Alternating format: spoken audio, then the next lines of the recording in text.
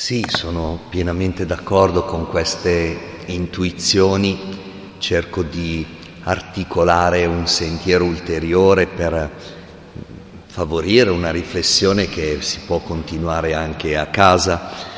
Fede e scienza, fede e ragione e di fronte all'esperienza del male siamo interpellati tutti, eh? in questo senso eh, non è, diciamo così, un'esperienza che uno possa dire ma la fate soltanto voi credenti.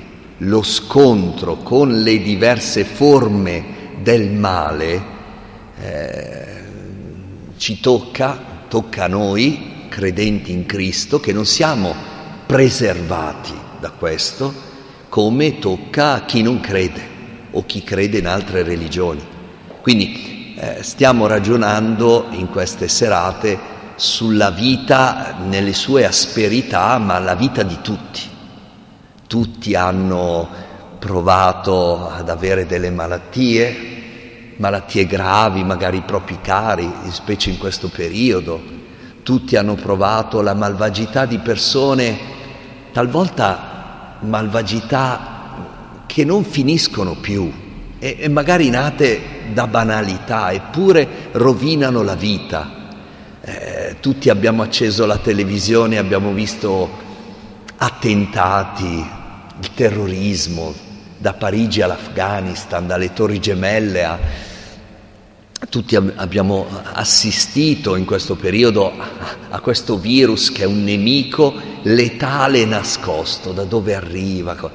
Eh, ecco, quindi eh, tutti siamo interpellati da questo interrogativo. Ma da che mondo è mondo?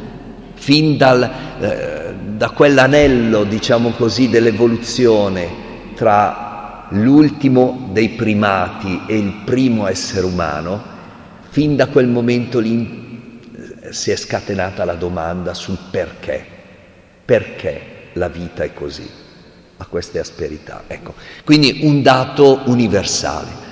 Su questo dato, avete visto, io cerco di trovare luce nella rivelazione, ma appunto nella rivelazione testimoniata negli scritti della Bibbia, così come ci vengono trasmessi dalla tradizione vivente della Chiesa.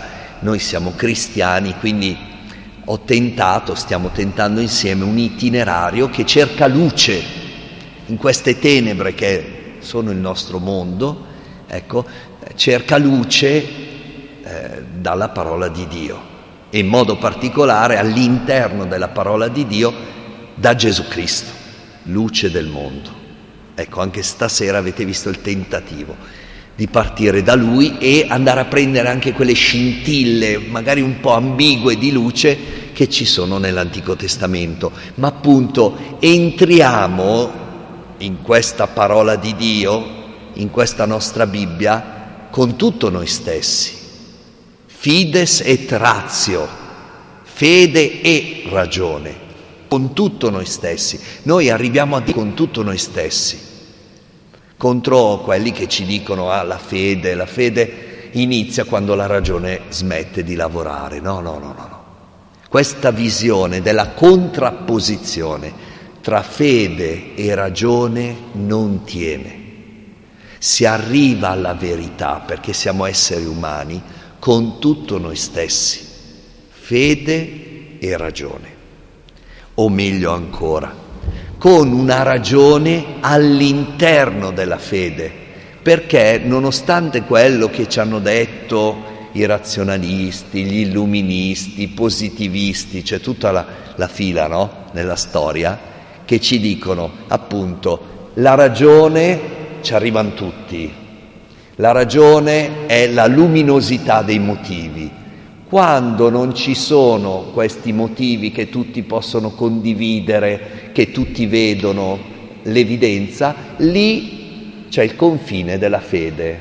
La fede è l'ambito delle cose oscure, dei misteri. Non è così.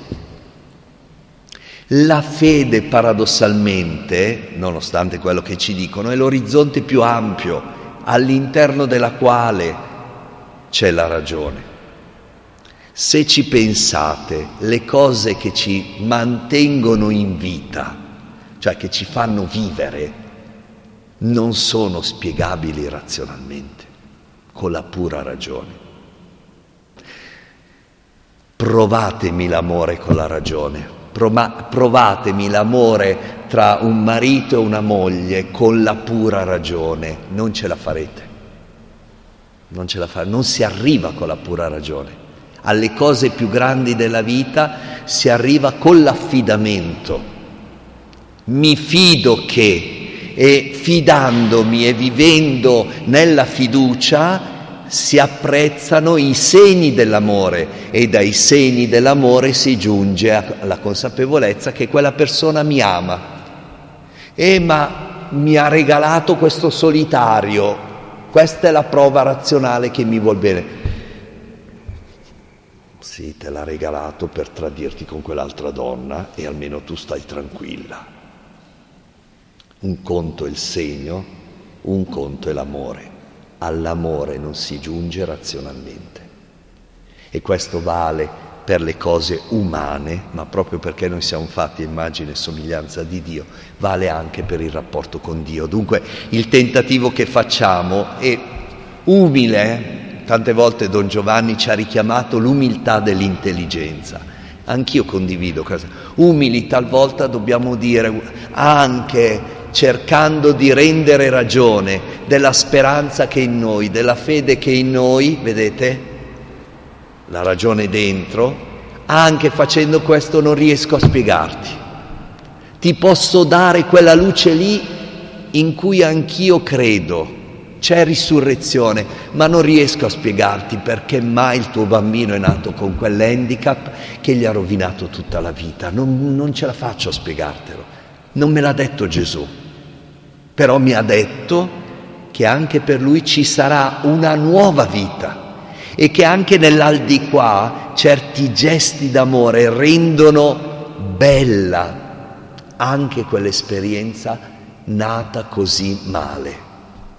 Ecco, tante volte anche noi credenti dobbiamo arrenderci e dire non te lo so spiegare, non lo so, non me l'ha detto Gesù, però so che vivendo come Lui c'è un po' di luce e alla fine c'è la luce piena. Questo te lo posso dire, però appunto questo è qualcosa che mi viene donato. Non sono io da solo che con la mia ragione mi arrampico per arrivare sull'Everest e vedere tutto chiaro. Non vedi tutto chiaro, mai. Sono io che lasciandomi illuminare, lasciandomi attrarre dalla luce, passo dopo passo, con tutto me stesso, il mio cuore, il mio cervello, eh, le mie mani, alla fine capisco quel senso per cui vale la pena vivere.